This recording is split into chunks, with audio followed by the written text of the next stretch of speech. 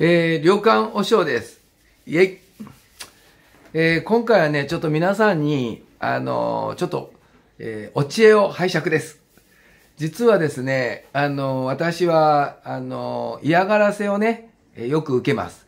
特に、えー、定期的に、えー、犬がうちの玄関前でうんちをしていくんですね。で、これを僕はいつも、あの、ありがとうございますって、こう、撮ってるわけなんですが、実はですね、いつも家の庭先、駐車場に、こういうものがよく捨てられるんです。こういうもの。なんだかよくわかんないんだけど。こういうもの。こういう。なんか、なんだろうね、こういうのね。なんかね、スポンジみたいな、なんか、昔のなんか薄いせんべいみたいな、ね、あのー、ソースせんべいに使うようなこんな薄いペラペラなもの。こういうものがね、いいつもあの、巻かれてます。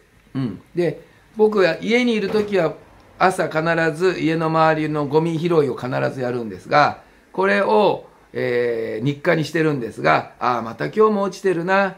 ああ、また今日も、あのー、なんだ、拾わなきゃいけないな。ありがとうございますってやってるんだけど、どうもこれがなんか犬の餌？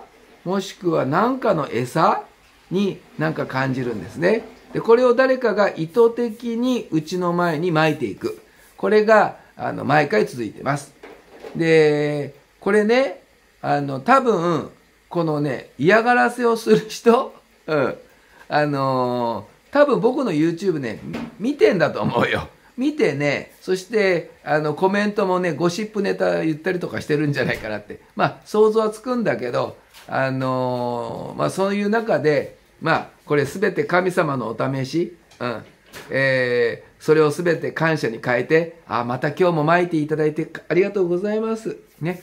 そして、あ、また今日もうちの玄関前でね、あの、犬、犬をね、通じてうんちをしてくださってありがとうございますって言いながらね、お掃除してるんで、あの、御霊磨きとしてはもう非常に嬉しい、あの、あの出来事なので、あの、いいんですけれども、ただ、このえっ、と、今言った、その、え、餌のようなものが巻かれているので、何かコメントがある人、あの、アドバイスができる人、あの、教えてください。どうかよろしくお願いします。